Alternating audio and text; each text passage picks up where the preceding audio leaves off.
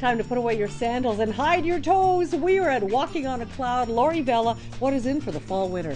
Sophisticated toe caps in contrasting or tone-on-tone colors, added detail with ruched leathers, buckles, and straps. And we can still wear bold colors in the cold weather. Definitely animal prints, embossed leathers, and patents. Or on your sole for a pop of color. For more info, walkingonacloud.ca. Thanks, Lori.